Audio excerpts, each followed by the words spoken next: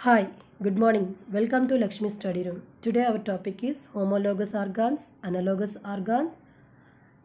Homologous organs may they have a same origin. That means these organisms have a common ancestor.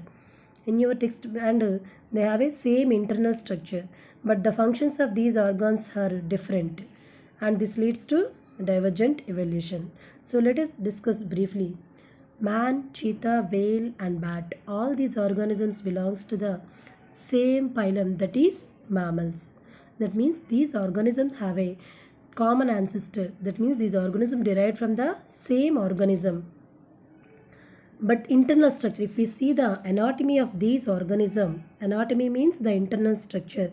This shows a common pattern. See all these have a like this only. So this shows a common pattern but their external form and functions are different.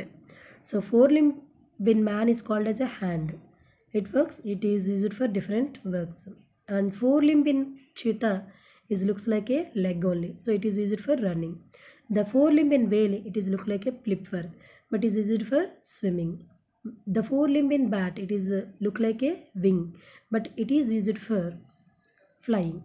That means the external form and functions are different, but internal structure is similar and the origin, the all these organisms are derived from the common ancestor. Homologous organs leads to divergent evolution. That means these organisms have a common ancestor, common form, but the functions are different. So that's why this evolution called as a divergent evolution. We can simply, this one is a code for you HD, H for homologous, D for divergent evolution. Homologous organs leads to divergent evolution. Next, analogous organs. Analogous organs, they have a different origin and different internal structure. That means the origin is different, the stru- internal structure is different, but they perform same action. They have a same action. And analogous organs leads to convergent evolution. Analogous organs for example in your textbook they gave wings in birds wings in birds wings in birds and feathers in feathers uh, wings in birds wings in bat and wings in insects. If you see the uh, wings uh, wings in insect. The wings are associated with the folded membranes are associated with some muscles. But if we see the wings of a uh, birds the bird's wings is made up of bones and um, flesh but it was covered by a feathers.